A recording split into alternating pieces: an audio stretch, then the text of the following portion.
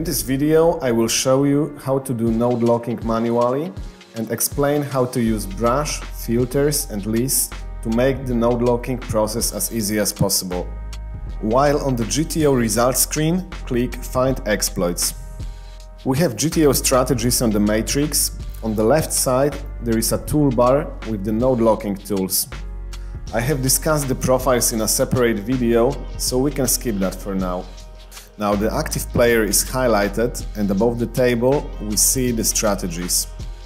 Now let's assume that we know the player's tendencies on UTG and we know that he is very aggressive.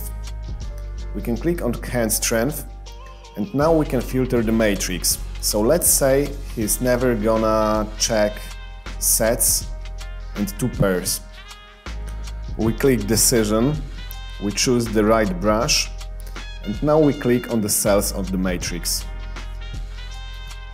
Now he will be betting all of his sets and two pairs. Another way of node locking can be done using the list view. So let's suppose that you know your, that your opponent is betting all of his strong hands.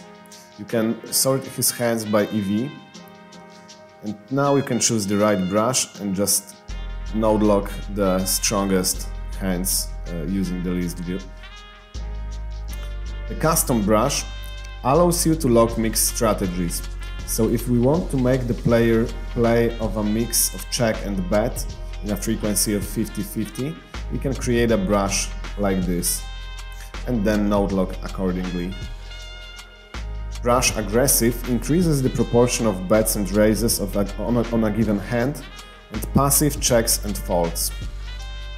Brush GTO allows you to lock strategies as GTO. To lock the entire matrix as GTO, you can also click Lock All as GTO. White padlocks mean uh, block strategies changed by user, and uh, black padlocks mean strategies locked as GTO. When you are done with node locking, click Calculate.